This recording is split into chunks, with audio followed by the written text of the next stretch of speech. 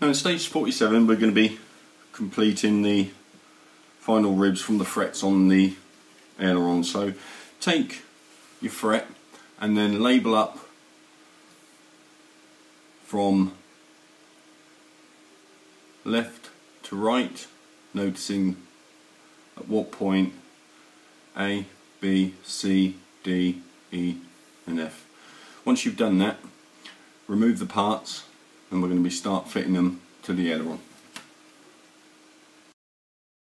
And once you've done that lay them out in sequence A, B, C, D, E, F and you should have them all going from the largest to the smallest. Now if you take your aileron and from the longest edge with a support at the bottom mark them off A, B, C, D, E and F and then we're going to be fitting the supports to the wing like so making sure that we've got them in the correct position when they go on. Okay. You'll notice as well that they should be in line with the bottom. Now you'd probably be better off doing this on a flat surface so that you, at least then you can see that they're all nice and flat. Now you'll know if you've got it around the wrong way because one, it will look like that. Okay, and that is incorrect. That is obviously correct. So get your glue ready and then go ahead and start placing those into position.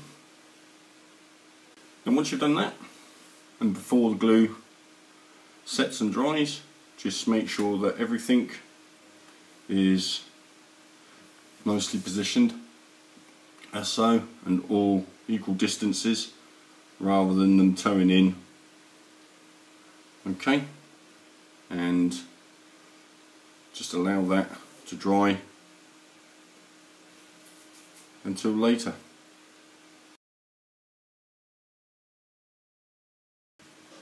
I'll take the parts that you got with this stage and just remove the centre fret, clean up the inside edges and then take the side of the engine mount and just test fit where that's going into that position like so.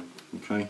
Now get your glue ready and apply some glue to the edges and then get your right angle ready as well and then glue that into position, placing your right angle up against the edge and allow that to dry.